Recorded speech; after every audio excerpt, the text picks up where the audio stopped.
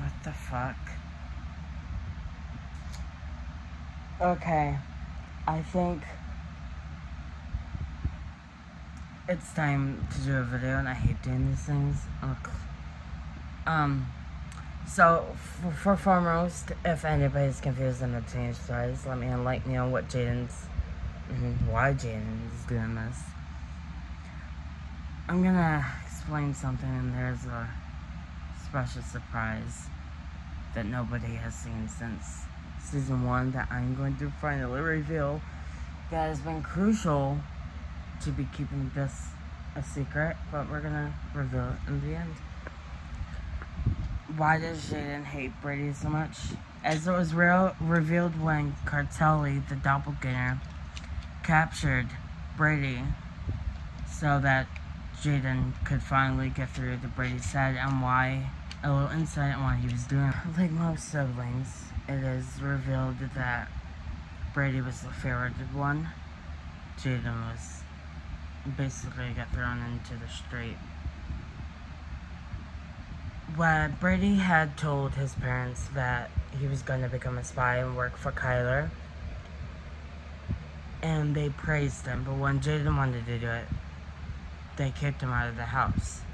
So Jaden ended up slaughtering that whole entire family and changed his name and took his brother's name, the one that's never been revealed or been shown.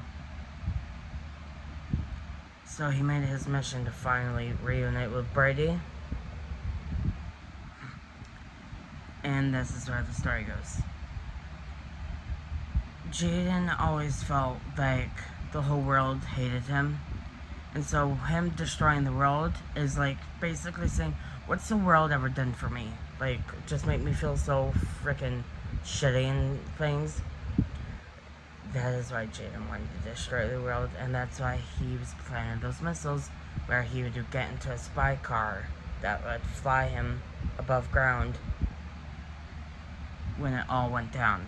And then he would fly back down after the damage is done, and then go from there. Like, he wanted to wipe out the whole entire human race.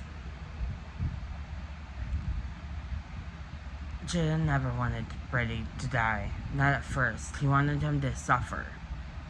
And the best way of doing that is taking the things he loves. And he was not only targeting him throughout most of the of the season, but he was also targeting his love interest, Liam.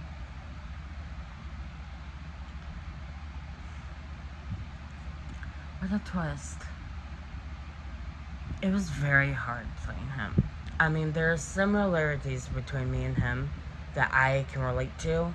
Because him feeling like the whole world hates you, I can relate to. And I took myself feelings and I put it into his character. So when I figured out what was really going to happen in the season 3, I was ready to play a villain again. Playing a villain is not hard if you know what you're doing. But if you don't, you're gonna be like lost. Like, what the hell do I do next?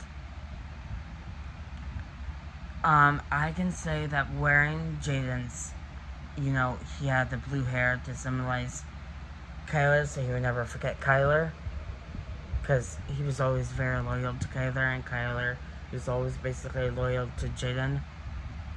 He um, dyed his hair after season two and cut it a little bit, but he also wanted to keep his natural and his. It, it was a mix, and it took me forever to figure out his hair because I knew I wanted his hair to change. I wanted his outfit to change. I wanted him to reinvent himself and I wanted to tease that in the season two finale of Jaden's only scene in that episode.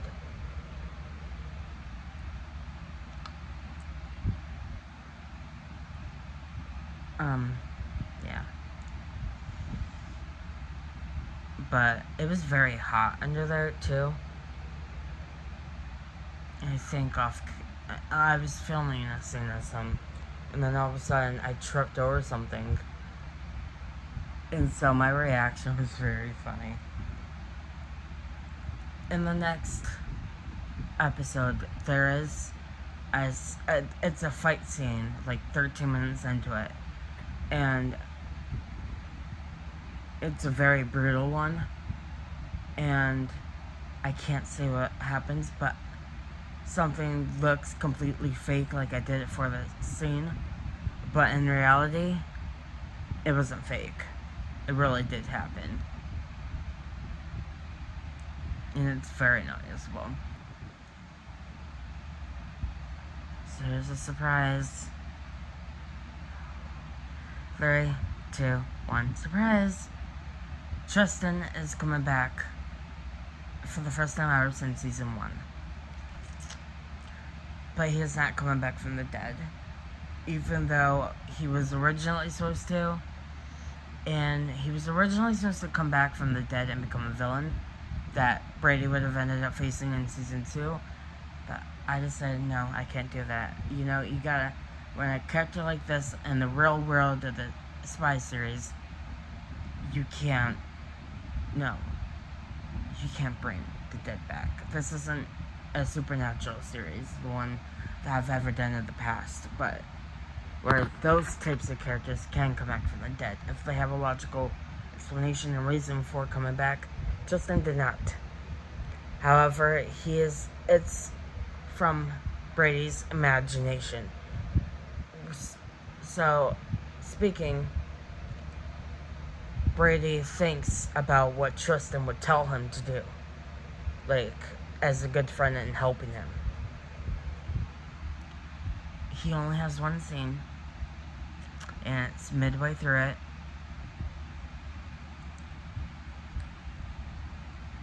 Nothing's changed with him, although he may be a little different.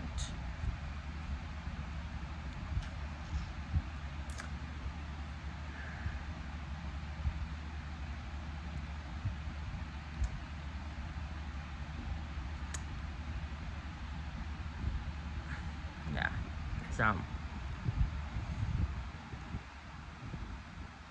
Okay, that's a surprise. I'm peacing. Bye, bitches.